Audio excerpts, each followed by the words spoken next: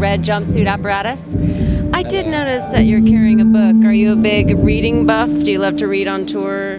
Uh, I am. I'm a reader, that's for sure. Do you guys travel uh, on tour buses? yeah, we're normally on tour buses and tour vans and RVs and stuff. And I like to read a lot. I feel like it's stimulating for the mind. But um, I'm reading The Shack. The Shack. The Shack. It's awesome. If you want a good book, read it. So you've toured around the U.S. Have you guys been out of the country yet?